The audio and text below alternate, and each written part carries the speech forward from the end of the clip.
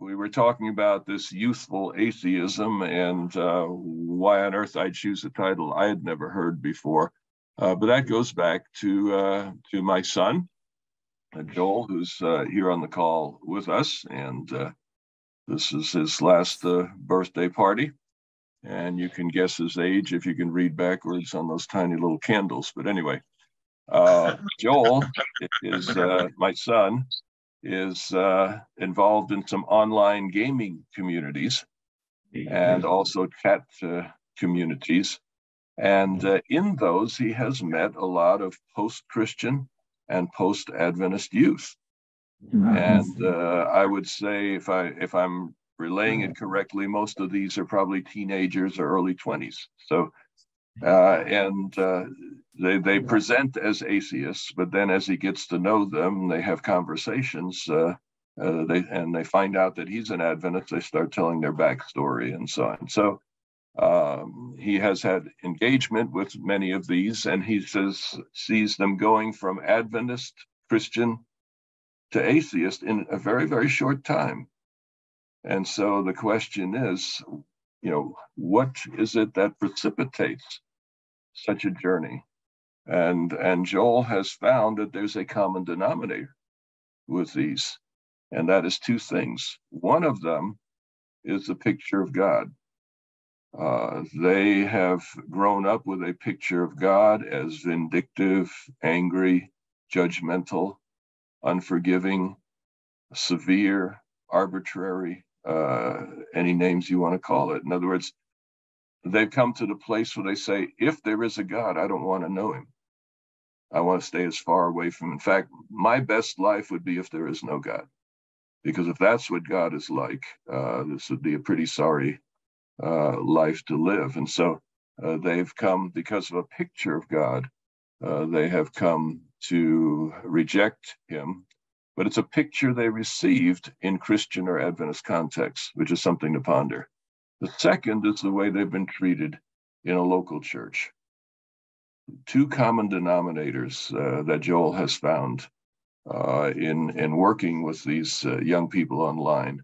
Uh, how they were treated in church, rejected uh, for whatever reason, whether it's LGBT uh, or the way they dress or the music they like, etc., that the church was not a welcoming place. And this led me to reflect that when you take, I think, a an exegetical view. In other words, letting the text of Revelation actually speak for itself rather than imposing a construct that we bring from outside. Uh, when you let Revelation 12 speak, it actually speaks to both of these issues very powerfully. And so I thought that might be a direction uh, we could profitably uh, go today in the seminar. And uh, if Joel wants to uh, expand or correct uh, anything I've said about this, uh, uh, we can let him do that at the end. All right, so uh, Adventists have always been deeply engaged in what we've come to call the cosmic conflict. Another term is the Great Controversy.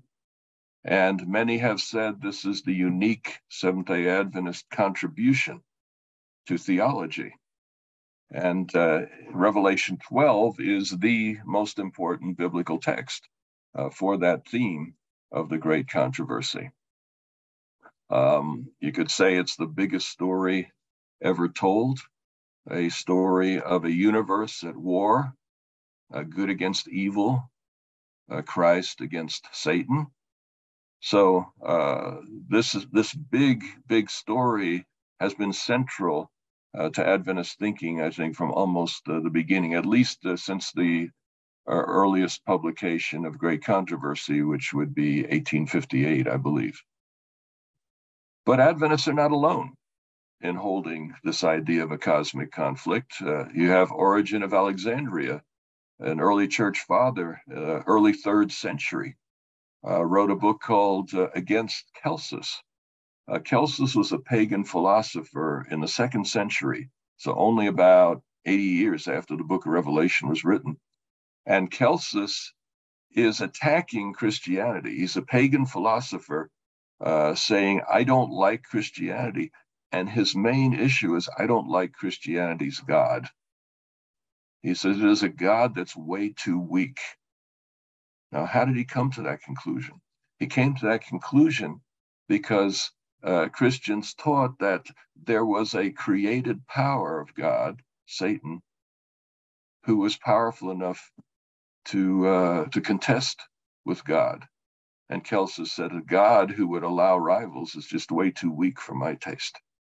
And Origen responds with a full picture of the cosmic conflict. In other words, he's basically saying, You're right, Celsus. You're right that that's what we believe. You're wrong that that means that God is weak or that he's not worthy of your respect. Uh, so, because of Celsus and because of Origen's response, we know that the very earliest churches had a pretty comprehensive and healthy view of the cosmic conflict, even though it doesn't feature as much in the Bible as we might like. For, surprise to many people, but uh, uh, some of the most detailed pictures of the cosmic conflict outside of the writings of Ellen White is the Quran. Has a lot to say about Satan, a lot to say about uh, the contest between God and Satan, has a lot to say about the Garden of Eden and, and the original fall. And uh, Satan is an explicit part of that in the Quran, which is not the case in Genesis. So um, the uh, Quran is a, is a fascinating uh, source of information on the cosmic conflict and how it was looked at in uh, Eastern Christianity and Islam. Uh, then you have Dante in the Middle Ages, uh, who uh, addressed quite a bit of things that would be familiar to most Seventh day Adventists. perhaps the strongest influence on Ellen White was John Milton an English poet in the 17th century who wrote Paradise Lost and uh, many of the themes and language in which Adventists talk about cosmic conflict can be found in Milton. Uh, Henry Melvill, very interesting character. He was the dean of Westminster Abbey. So he was a very, very prominent Anglican clergyman, and his sermons uh, on cosmic conflict are fascinating. And uh, Ellen White seems to have read those sermons. She was very familiar with Melvill as well as Milton. And uh, so these two uh, were conduits. Uh, I doubt she was familiar with Origen, or at least I'm not aware that she is, but she definitely uh, bounces off Milton and Melvill. And so, of course, Ellen White, the most comprehensive outline of the cosmic conflict, at least until her day, uh, surprising to many are these two characters in the mid 20th century C.S. Lewis, known to pretty much everyone, uh, J.R.R. Tolkien. Uh, the name might not be so familiar, but Lord of the Rings is certainly uh, one of the most transcendent literary pieces uh, of the 20th century. And it is strongly based also on cosmic conflict approach. And then today, the, outside the Adventist Church, uh, Gregory Boyd is a prominent spokesperson within the evangelical world for this great tradition of a cosmic conflict. All right, so let's get into Revelation itself. And uh, let's take a fresh look at the big story of Revelation 12. And uh, I, I think what what often happens with Adventists is they open the book of Revelation with a big story in mind. And that big story controls what they see in the text and sometimes even overwhelms the text. What I want to do today is just look at the story of Revelation 12 as it unfolds within Revelation 12. Uh, chapter 12 begins with the birth of Jesus and goes to the final events of Earth's history. So it's a quasi apocalyptic prophecy. And I say quasi because uh, generally Revelation is seen to be a little bit different than Daniel, similar, uh, but not exactly the same. Revelation 12 comes close uh, to Daniel, perhaps closer than any other part of Revelation in terms of the genre, the style. Uh, there's three key characters introduced. So there's a story in Revelation 12 with three main characters that are introduced in verses 1 to 5. Now, one thing I've discovered is that whenever new characters are introduced, in the book of Revelation, it's as if the author of Revelation hits a pause button uh, on, you know, on the, uh, what do you call it, the YouTube video that he's viewing. And he hits the pause button and then takes time to do two things. He gives a visual description of this new character, and then he gives a summary of that character's previous history. So uh, a new character appears, you get a visual description, and then something of the backstory for this character. All right, and so the first of these three characters is the woman in chapter 12. And in Revelation 12, 1 to 2, uh, she is introduced. And a great sign was seen in heaven a woman dressed with the sun. The moon was under her feet, and upon her head was a victory crown of 12 stars. She was pregnant, and she cried out in pain as she labored to give birth. If you're wondering about the translation, that happens to be my own. Uh, there's a couple of turns in there that I would not expect in a traditional translation because I'm trying to bring out some of the nuances of the Greek language uh, in that text. But what you'll notice here is the text is in two parts. Verse one is a visual description. The woman dressed with the sun, moon under her feet, 12 stars on her head. And then is a backstory. She was pregnant and she cried out in pain as she labored to give birth. So you see, new character comes up. There's a visual description of the character and then the backstory. All right, second character. Well, before we do that, let me just mention that uh, when Adventists view this woman, they immediately go, she is Old Testament Israel, and uh, because she gives birth to Christ. Uh, Roman Catholics uh, immediately see Mary uh, in this. But let's hold that kind of uh, interpretation for the moment and just follow the story that is being given here. So for Adventist woman's Old Testament Israel. Now the second character is the dragon, and uh, the dragon was uh, appears in verse three.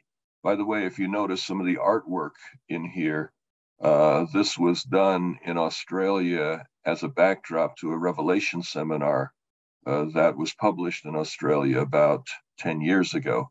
And if any of you are interested in that, it's it's available from AdventSource, and uh, there's videos and you know text and uh, images and and so forth that uh, it hasn't gotten nearly the publicity I I had wished it would have gotten, but uh, uh, it is available for anybody who wants to to go in some depths uh, on their own. Anyway, here comes the dragon. Another sign was seen in heaven a great fiery red dragon with seven heads and ten horns, and upon his head seven crowns. His tail dragged down a third of the stars of heaven and threw them to the earth.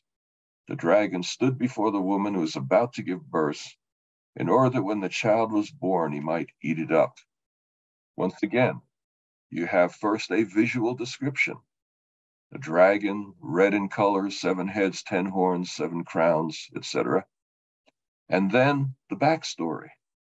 When the dragon appears in this vision, uh, he's someone who in the past has dragged down a third of the stars of heaven and thrown them to earth, but now he stands before the woman in order to eat up the child when it's born. So you have here not only two new characters in the story of Revelation, but enough backstory that you're ready for what is about to happen.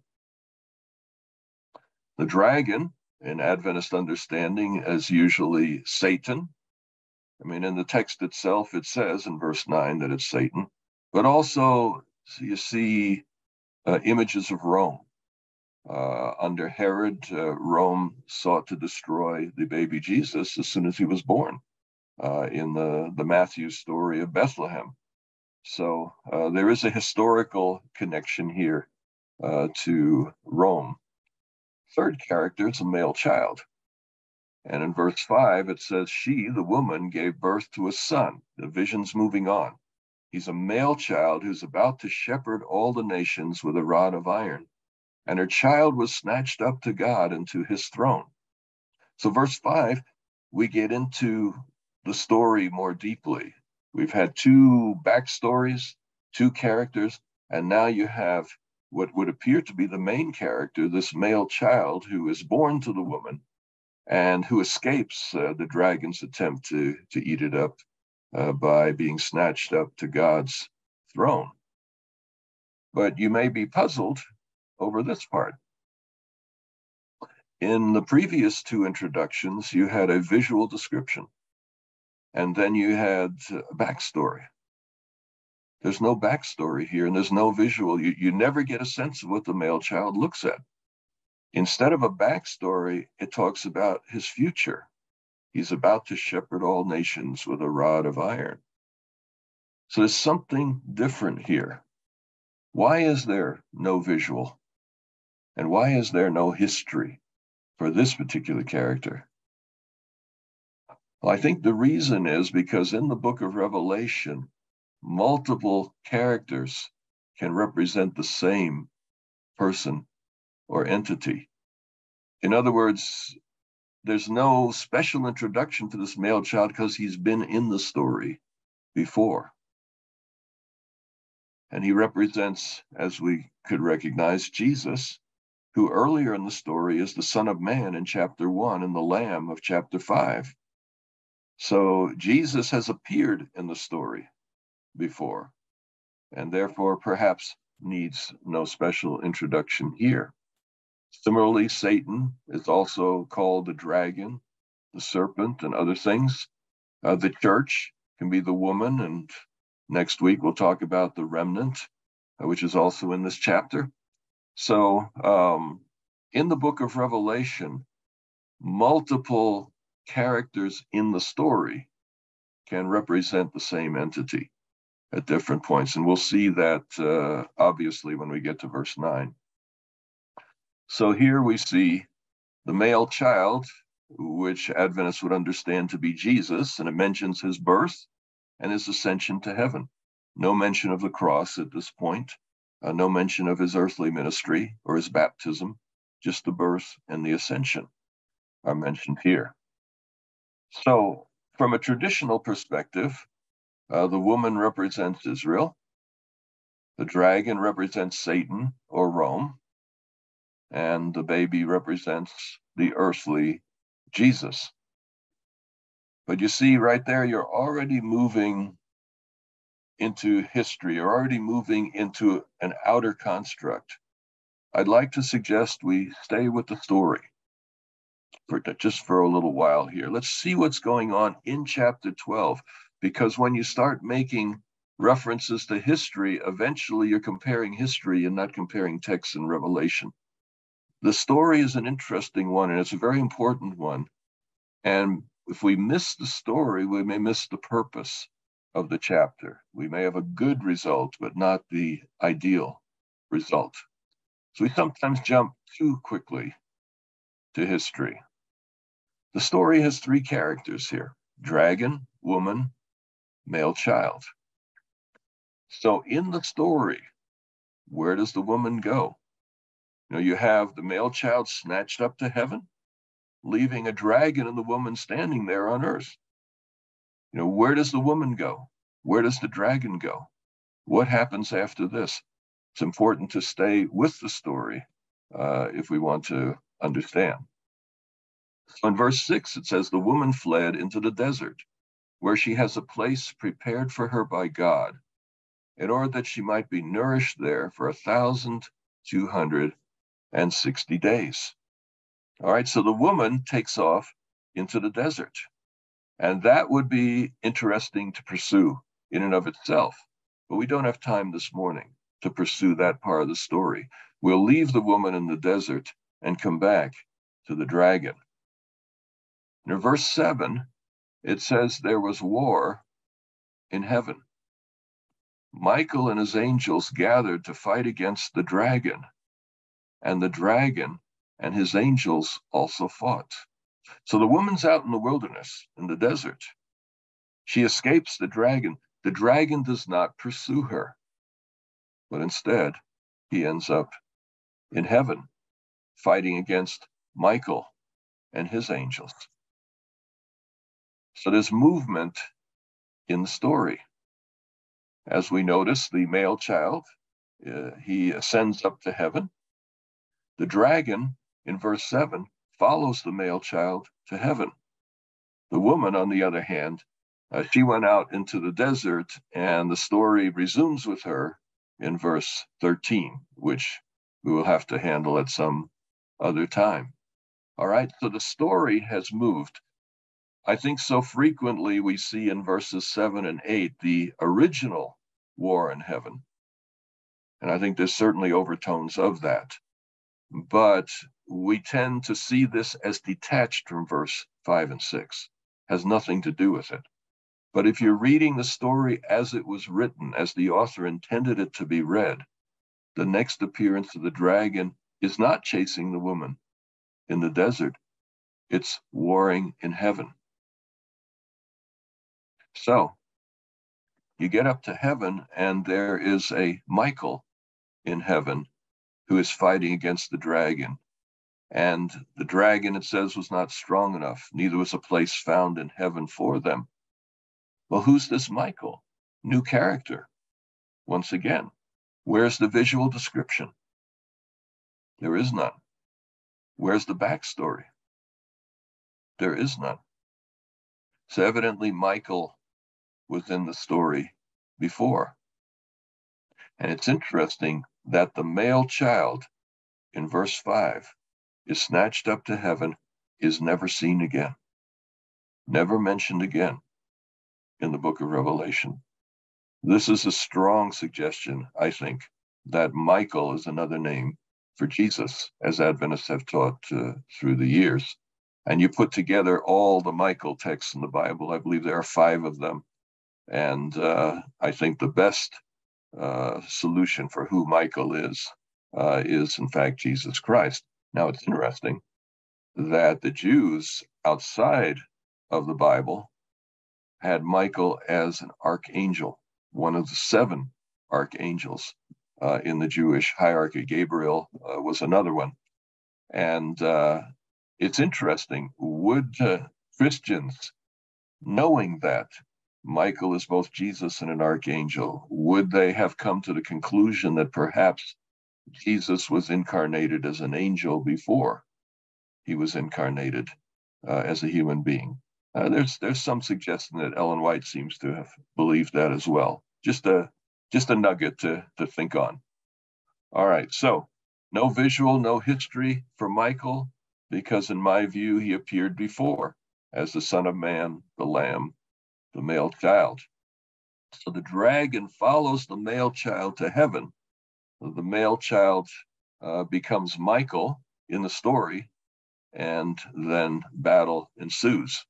If all of this seems just a little bit crazy, uh, watch a few of the Marvel uh, movies, and you'll realize that this type of transformation is uh, is quite common in those apocalyptic, those 21st century apocalyptic stories. And if you're saying, is Revelation going to have meaning in the 21st century? It should, because the 21st century is obsessed with apocalyptic. Uh, you know, Star Wars, Lord of the Rings, uh, the Avengers, the Marvel Cinematic Universe, uh, Guardians of the Galaxy. I mean, this whole cosmic conflict, uh, universal war, it's a very common theme. And uh, people learn their philosophy often watching movies like this. And The Matrix, uh, another one uh, along some of these lines. So, uh, what's happening in Revelation is weird in terms of normal everyday life, but it's not weird in terms of human imagination. And uh, Revelation, uh, in my view, is very much like a, a cartoon fantasy in current genre. So, verse 9 the great dragon, the ancient serpent, the one called devil and Satan, who deceives the whole inhabited world, he was thrown down into the earth, and his angels were thrown down with him. Now, remember, I said that one entity in reality can be represented by many titles in Revelation. Here you have five related to the dragon. He's also the ancient serpent. He's the one called devil and Satan, the one who deceives the whole inhabited world. So there's five titles for Satan in this one verse of Revelation. So the idea that uh, every symbol in Revelation must refer to something different uh, is not what the text itself uh, points to. There's an allusion here to Genesis 3 when it talks about the ancient serpent. And back there, you had the story of uh, the woman, Eve, and the serpent. And the serpent was telling lies about God. So keep that in the back of your mind as we move forward. Verse 10 and 11 I heard a loud voice in heaven saying, Now have come salvation and strength, the kingdom of our God, and the authority of his Christ, for the accuser of our brothers, the one who accuses them before God day and night, has been cast down. Now, let me just go back a couple of slides. Do you notice that in verse 9, you have this war in heaven, verses 7 to 9, and Satan is thrown down to earth. Is that talking about back in the beginning before creation? Or is that talking about something that happened in the context of the male child's ascension to heaven? In the story of chapter 12, the natural connection is with the time uh, the first century with the time of Revelation, the time of the Gospels, the time of Jesus.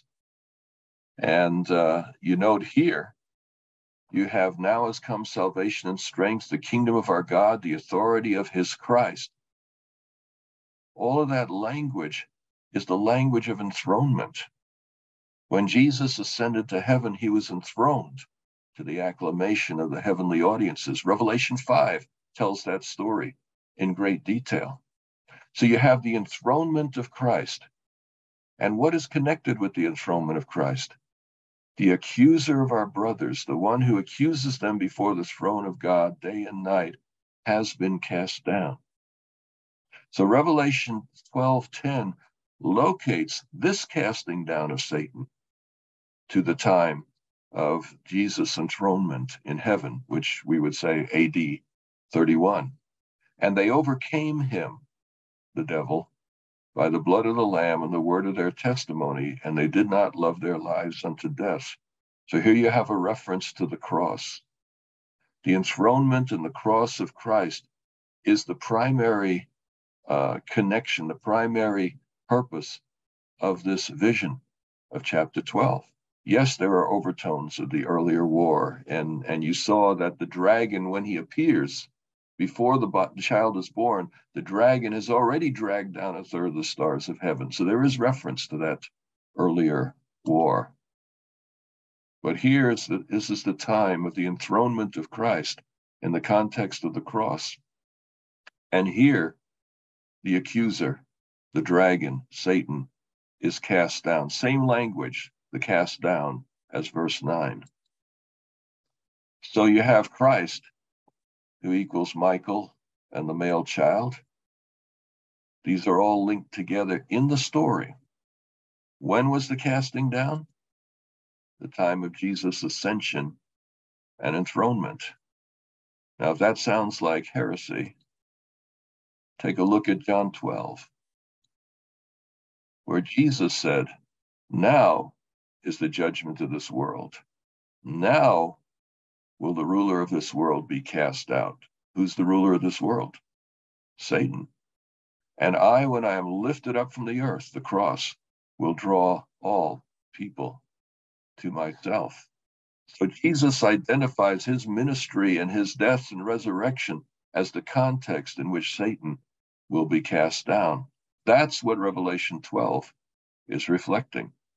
Uh, by this, I'm not rejecting you know anything Adventists have said about the cosmic conflict uh, from Revelation 12.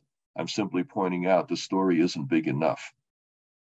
That there's more to Revelation 12 than than what we sometimes uh, say about it. So There's the cosmic conflict. So, what about the 21st century? This is an apocalyptic era. A younger generation saturated with apocalyptic themes. What can Revelation 12 say to this generation? What can Revelation 12 or should Revelation 12 say to the 21st century? Well, let's go back to Revelation 12 with that in mind and ask the question what kind of war is this? You have war in heaven, a war way back in the beginning that is continued in the context of Jesus' ascension and, uh, and enthronement in heaven. What kind of war is this?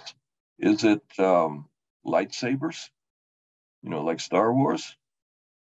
Well, I don't know. How about arm wrestling? Yeah, probably not. What I would suggest is the war of Revelation 12 is a war of words. It's a war of words over the character and the government of God. Now, am I just making that up, or does the text itself take us there? I'd suggest the text does. Let's go back to Revelation 12 4, where you have the tail of the dragon. Uh, this seems to be an allusion to Isaiah 9 15, and uh, that's a whole nother story how Revelation uses the Old Testament, but just take it on faith right now. It does this a lot. The elder and the honored man is the head. The prophet who teaches lies is the tail. So, this idea of the tail of the dragon dragging a third of the stars out of heaven. If stars represent angels, and they seem to do so uh, more often than, than not in Revelation, if stars represent angels, the tail of the dragon is how Satan persuaded a third of the angels to leave heaven with him when uh, he was cast down the first time. So uh, this tells us right away this isn't physical force that's involved at this point, but it's an issue of persuasion. Uh, verse 9, that ancient serpent clues us in that the Genesis 3 story is relevant to this war in heaven. It's telling lies about God. What God is like is the chief issue in the cosmic conflict. Is it the picture that Satan draws of God? Or is the picture that God seeks to demonstrate in Jesus Christ? Satan is the accuser of the brothers and sisters in verse 10. So this is a war about words. It's an echo of Job 1 and 2, when Satan is in heaven accusing Job, and, and God is defending Job. And then finally, verse 11, they overcame, military word, they overcame by the blood of the Lamb and the word of their testimony. So it's not a military battle, even though war language is used in verses 7 and 8. And uh, overcome is a military term, conquest, in verse 11. It's a war about testimony, it's a war about accusation, it's a war about truth and lies. So when we read Revelation 12 with that perspective in mind, I think it starts becoming very, very relevant to our topic for today. What are the weapons in that war? According to Revelation, on God's side, it's blood, it's word, it's self sacrifice.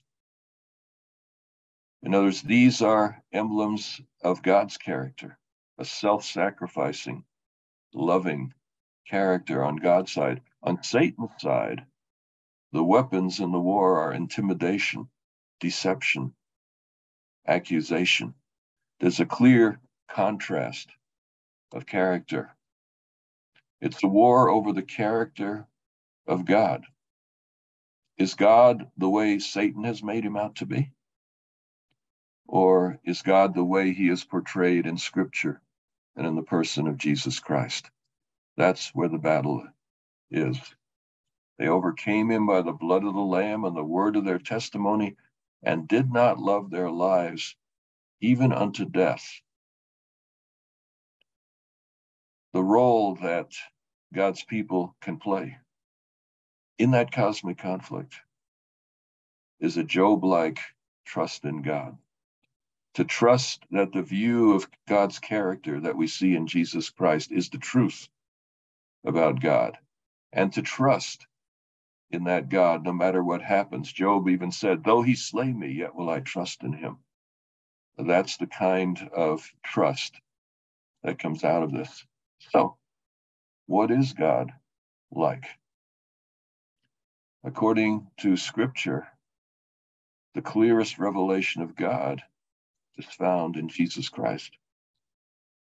I think the apex point of the New Testament may well be John 14 9. If you have seen me, you have seen the Father. Anybody remember the context of that statement? It's in the upper room. Jesus with his disciples just before the cross. What did Jesus just do? Before serving the supper, he washed the disciples' feet. And in John 13, it says, verse 3 Jesus, knowing where he had come from, knowing where he was going, knowing who he was, bent down and began to wash the disciples' feet. The foot washing was a deliberate act to show what God is like, that he washed the feet of his denier, knowing that he would deny him, washed the feet of his betrayer, knowing that he would betray him. That is what God is like. And the shocking statement here in the light of the foot washing, Jesus says, This act that totally blew you away when I, your teacher, didn't. If the Father had come down and become human and walked among you, he'd have been no different than me. He'd have been just like me. The Father is just like Jesus. And it's fascinating. The New Testament Jesus is often the recipient of quotations from the Old Testament of Yahweh. Texts that talk about Yahweh saying, There's no God beside me, are applied to Jesus in the New Testament. To me, every knee will bow, every tongue confess. In the New Testament, that's applied to Jesus. So Jesus is seen in the New Testament as the Yahweh of the Old Testament. And you could say from John 14 that the Father is the God of the New Testament. The big surprise is that the chief of it all is the way that Jesus lived here on this earth. This really, this insight was really important for me personally because I mentioned a closet there. When I was eight years old, there was a thunderstorm. This was living just outside New York City. And New York City has massive thunderstorms that, that come through every so often. And the lightning flashes and the thunder crashes, the ground shakes, the rain pours down, the wind, the house creaks, you know. And I was in my usual spot in thunderstorms on the floor of my bedroom closet. And, uh, and my mom popped into the room in the middle of this storm and she was a good mom. Uh, she uh, she did her best. Uh, she loved the Lord all of her life, but even the best of moms sometimes have a bad day. And I cried out from the floor there, "Mom, why does it have to thunder and lightning like this?" And as she was leaving the room, she tossed over her shoulder, "God is angry with all those people who are breaking His commandments." Now, what does an eight year old boy know? He's broken a few commandments, right? So at that point, I was convinced that those thunderbolts were coming for me. And it took me decades, even as a pastor, took me decades to fully get over that picture, that fear of God, not the good kind, you see that God was a, a punishing judge who would squash me like a bug the minute I I stepped out of line as a pastor or anything like that. Uh, I sort of had a good cop, bad cop view of God. There was the Old Testament God, the bad cop, and there was the New Testament God, Jesus. That's not the picture of Scripture. The picture of Scripture is you've seen me, you have seen the Father. So, cosmic conflict, I believe it's all about character. Satan is the accuser of the brothers and sisters. What is he accusing? It's about our character. It was about Job's character. Satan is accusing this person is screwed up. God, you need to deal with this. You got to stop all this mercy stuff and get down to the business of being God. Satan is the accuser of the brothers and sisters. Now, in Revelation 12, what does that make God? Is God the encourager of the brothers and sisters? And I find it fascinating that Satan is portraying his own character as God's. That he portrays God as being accusatory toward us, judgmental, unforgiving, demanding. That's Satan's character. But he has convinced many of us that that, in fact, is what God is like. And the fascinating thing is that when we accuse our fellow brothers and sisters, when we are judgmental toward them, we are paying tribute to what we think God is like. We are portraying God in the person of Satan. Anyway, some implications here. I would suggest that there's no good cop, bad cop picture of God. In Scripture, there is one God. Uh, scripture is confusing at times. We can talk about that. Uh, in the Old Testament, particularly, it always doesn't always give a clear picture of God because it's very much relating to people at that time. But when you look at the overall picture of Scripture, with its high point in John 14 9, Jesus came.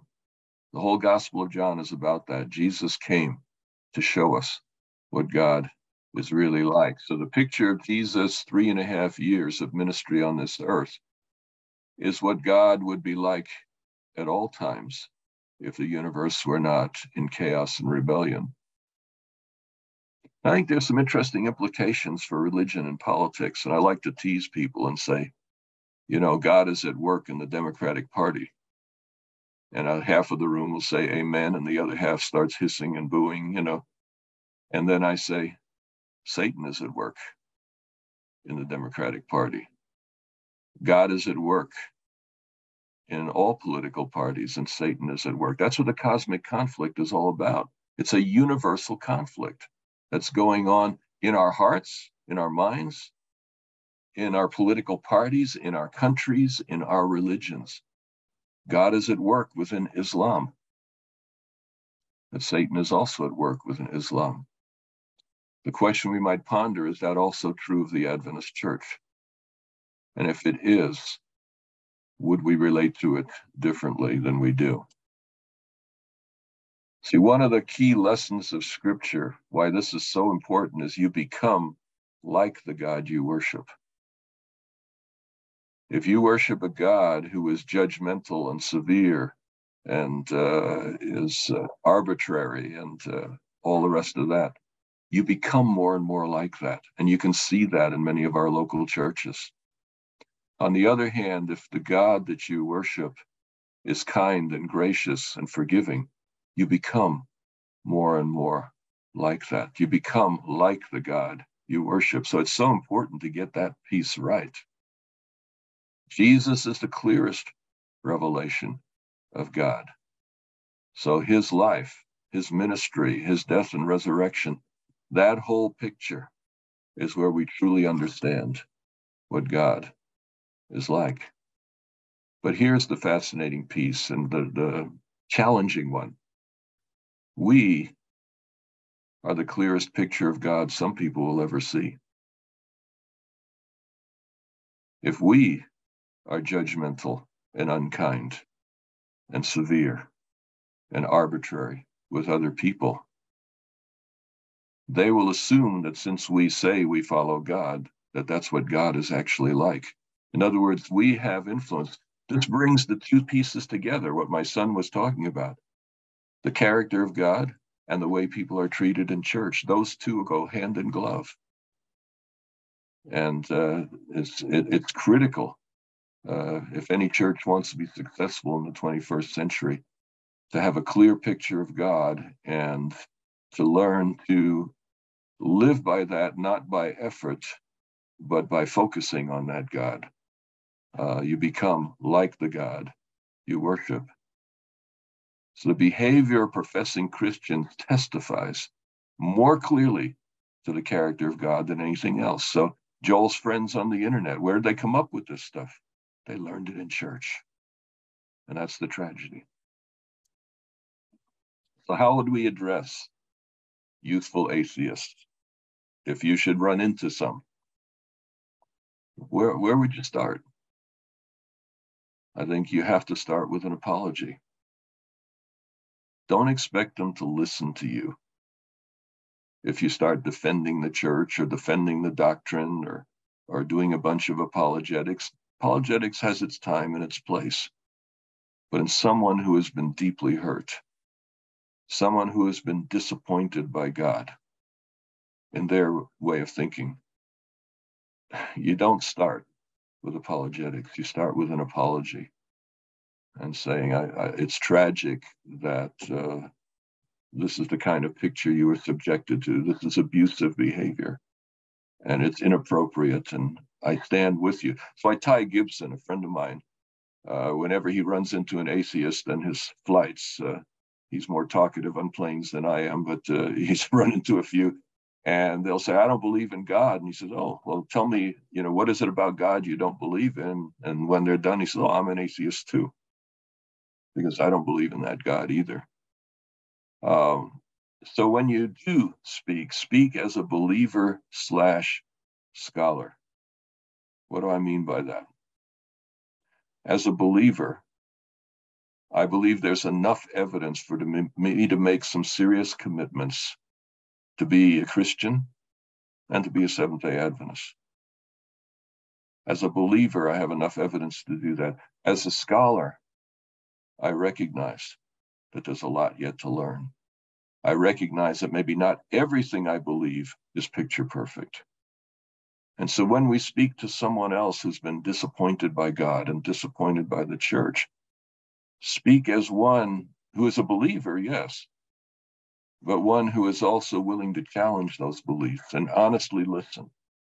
And uh, and occasionally you might learn something from an atheist because an atheist is quick to see the flaws in the church that you or I might miss.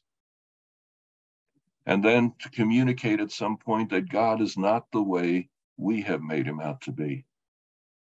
That God needs a second chance, just like they need a second chance. And I think the foot washing can be a story early on in such a relationship. Just say, you know, I, I hear what you're saying about God. I reject that totally. But let me tell you a story about God that may blow your mind and tell the story of the foot washing and then how Jesus ends up closing the case by saying, That's what the Father is like. That's what I came here to show.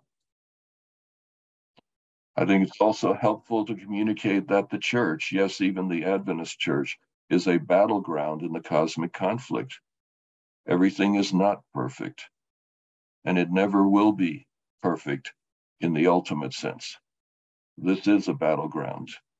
Uh, church, perhaps in in a uh, spiritual sense, may one day find itself uh, in a different place. But as an institution, as something tangible, the church will always be a battleground, the cosmic conflict. And if we acknowledge that, it can put us on the same level as the person that we're talking to and enable them to perhaps open their mind and heart just a little bit to what we may think is, is important as well.